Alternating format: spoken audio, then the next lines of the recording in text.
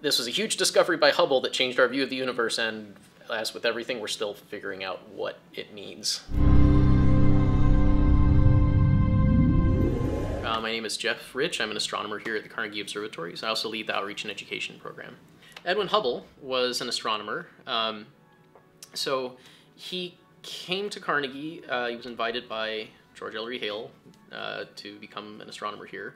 And he is remembered today because of the discoveries that he made using the 100 inch telescope. My name's Mike Simmons. Uh, I've been involved at Mount Wilson for 35 years or more. Um, I was one of the founders of the Mount Wilson Observatory Association. Hubble had actually been a lawyer first. He didn't like studying law. He was interested in astronomy and eventually came to Mount Wilson. He spent his life at Mount Wilson Observatory as an observer, so he was a fixture there for a very long time.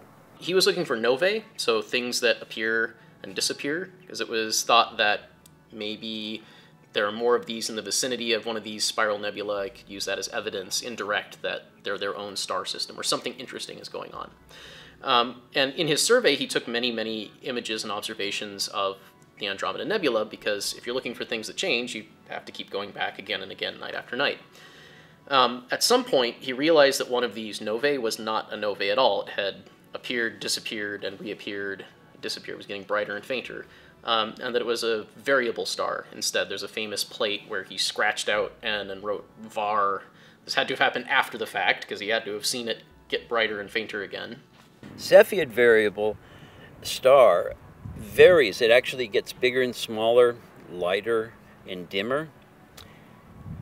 And the period they do that over is related to how intrinsically bright they really are. So if you watch them get brighter and dimmer for a while and say, okay, that's how long it takes, then you know how bright the source really is. And from that, you can figure out how far away it is. He continued to observe Andromeda again and again and again and again. We looked at some of those plates, um, and you can see he meticulously found several more Cepheids and used them to calculate a distance to the Andromeda Galaxy um, the distance that he got put it way outside of our own galaxy. It sort of established that, yes, this is something really far away. It's not in the Milky Way. Um, and from that point, it kind of shifted our picture of the universe. You went from just the Milky Way to something much, much bigger. There are not many times throughout science, throughout all history, when one observation settles something. It's a very slow incremental process. But on this one night, the debate ended. That was it. It's a very rare thing.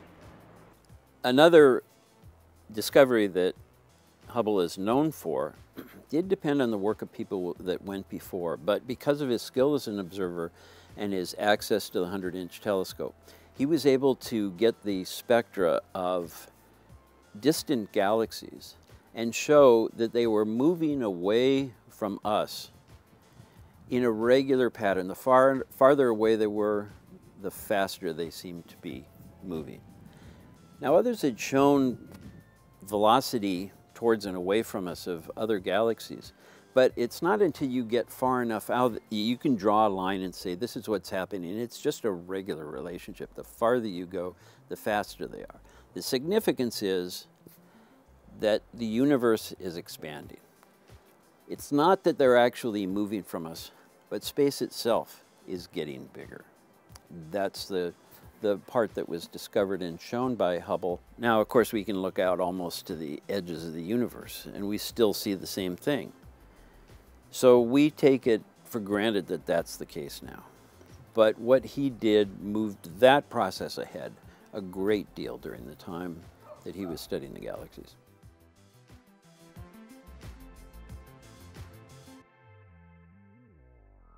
Thank you for joining us and watching our video about Edwin Hubble and Mount Wilson Observatory. If you enjoyed this video, here are two other videos we think that you'll enjoy. Make sure you subscribe. We release two videos a month. Ring the notification bell so that you find out when our next video comes out. Thanks for joining us.